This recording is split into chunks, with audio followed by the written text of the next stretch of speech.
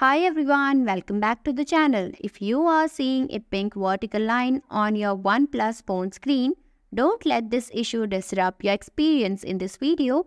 I'll show you some quick and easy fixes to get your display back to normal. Let's get started. Fix 1. Restart your device. Press and hold the power button. Tap on the restart option when it appears. Fix 2. Restart phone in safe mode. Press and hold the power button, long press the power off option until you see a prompt. Select reboot it to safe mode from the pop-up menu. Observe if the pink line is still present. If it disappears, a third-party app may be the culprit. Fix 3. Update software. Go to settings then system then go to software update. Check for any available update and install them. Fix 4. Factory reset. Go to settings then go to additional settings then backup and reset. Reset phone, erase all data. This will erase all data, so backup important information first. Fix 5. Avoid updating while charging. To prevent future occurrences, refrain from updating your phone while it is charging as this can exhibit display issues.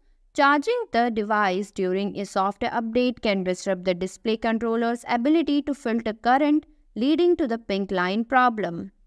Fix 6. Use the Android repair tool. Using a professional repair tool can help automatically fix various issues.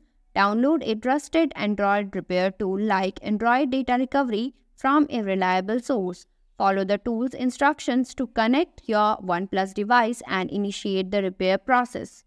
Fix 7. Visit the OnePlus Service Center. If none of the solution work, it's best to consult professionals.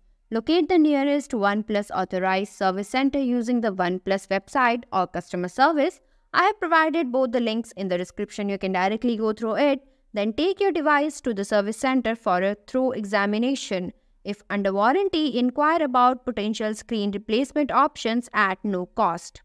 Thanks for watching. If you like the video, please hit the like button. If you want to see more videos, hit the subscribe button.